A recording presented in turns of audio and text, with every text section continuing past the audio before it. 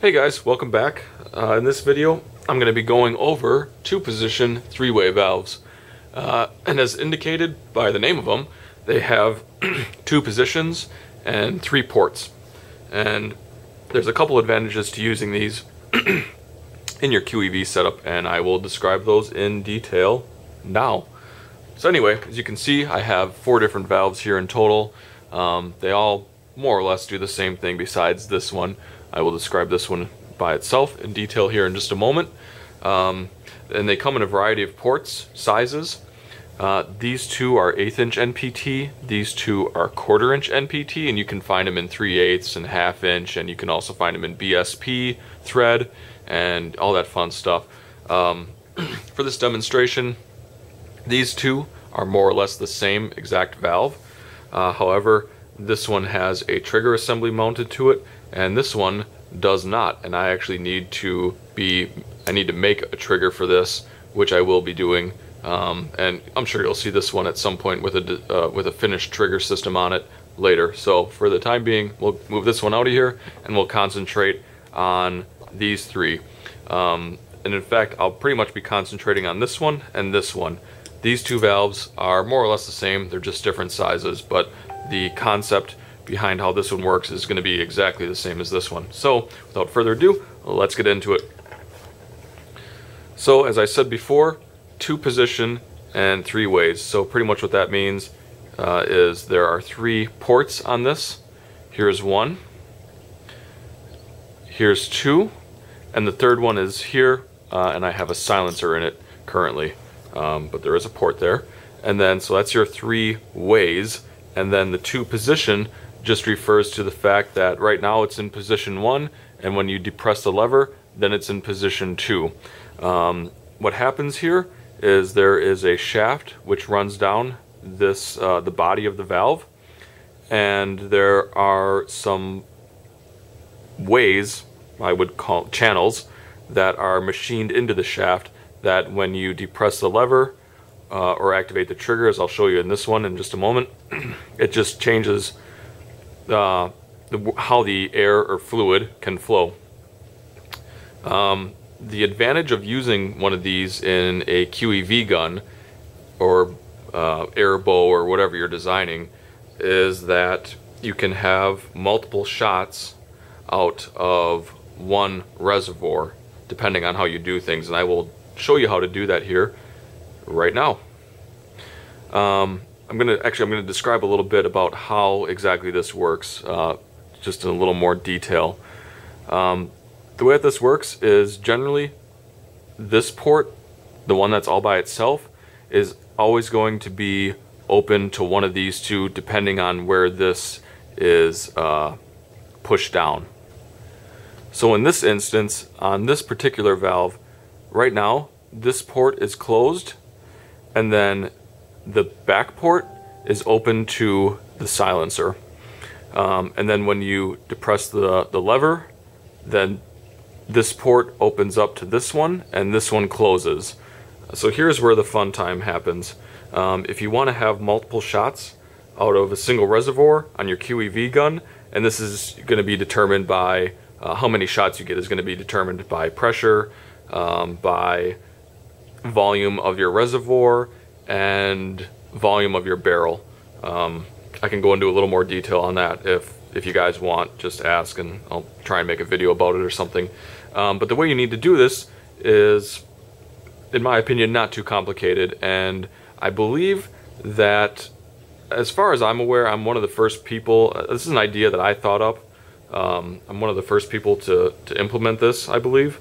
Um, it's really simple and it works very well. And if you've watched any of my previous videos, um, you can see this device in action, but I'll go over it right now.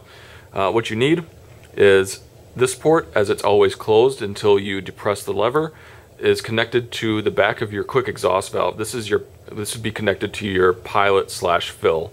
In order to use this in a multi-shot capacity, you need to fill from your reservoir side. And if you don't know what I'm talking about, you can go to my channel and check out my previous video, uh, which is all about QEVs and how they work. So go ahead and check that out. I'll put a link to it or maybe I'll put a card to it or something. Um, but anyway, how you do it is you connect a reservoir, another small reservoir, to the back of the two position three way valve. And I'll go into detail on this real quick here as well. This is a part I machined. Um, you could use uh, pipe fittings or something along those lines to make kind of the same thing. Um, you probably wouldn't have the adjustability. You'd probably just figure out what size you need and uh, and make it. Uh, but I'll go into the way that this one works right now. So anyway, this is a tube. It's hollow on the inside. It's got an eighth inch NPT fitting. Obviously you would uh, put whatever thread you need on there if you're using eighth inch or using quarter inch or using some kind of BSP fitting. Get that. You want a tube. And then this particular one is adjustable volume. So there is a piston inside here with two O-rings. And when you thread this uh, screw in, it moves the piston up and decreases the volume. And then when you thread it out, obviously, then the piston moves back and you change the volume of the inside of this. Uh, what this does is when you attach it to that rear port on the two position three-way valve, it forms a sealed chamber. And so what happens is when you fire your quick exhaust valve by depressing this, once again, what that does is when you depress it, uh, it opens up the port from here to here and seals this one off. So when you depress this, the pilot volume behind the quick exhaust valve transfers into this chamber. The pressure equalizes, you keep holding this down. The pressure, and this happens almost instantaneously, as does all these things. Uh, you depress this, the volume from the pilot volume from behind the piston in your quick exhaust valve transfers into this chamber and then the the pressure behind the piston equalizes because this is sealed and then the piston in the quick exhaust valve moves forward and seals the barrel and it fills itself back up. And then when you let this lever go then the volume that's contained inside here which is pretty minimal then exhausts out the front of this and through a silencer in, in this. But yeah so that's how this works really simple. Like I said, you don't have to make this if you don't have you know access to machines to make this. You could just make uh, a tube that's open at one end and closed on another. That's a fixed volume, and that would work fine. You could mess around with the volumes that it is to get you know the desired uh, shot output. The only reason that I have this one is by turning this in or out, I can adjust uh, the volume inside here and thereby adjust uh, how long the quick uh, the quick exhaust valve is open therefore varying the power of the shot. Um, so yeah, like I said, the same thing is going to apply to this guy. This is just a bigger version, um, and this one's operated by a toggle, a large toggle lever. Uh, I'm hoping that once it warms up here in the spring, I'm going to incorporate this into uh, a very large uh, quick exhaust valve launcher. I'm pretty excited about that, but we'll touch on that once it warms up. And so anyway, this video is getting long, so I'll try and wrap it up here. This guy here is also more or less a two position three way valve. It has two positions and it has three ways. However, um, in the way that this one works, this one has limited functionality because um, it only has two ports that you can thread into, whereas this one has three. Um, what that does or doesn't enable you to do is unfortunately with this valve, this one has a couple limitations for the things that I like to do. Uh, one of those is you can't attach a sealed chamber to it. Um, so this one, in the way that I like to design my guns, you can't do multiple shots with it. Uh, but I will describe how this one works as well. So in this position here, this moves forward and backwards. In this position here, the, it's a hollow tube and the air is able to flow directly from here to here. So from one side to the other. Um, when you move the slide back, and this is called the slide valve for obvious reasons, when you move the slide back, it plugs this port and it opens up this port to atmosphere. Um, like I said, there are a couple limitations to this. Number one, uh, at least with this particular valve, there you can't really operate it after 300 psi. The, the issue with this is it's a balanced spool valve is kind of what it is.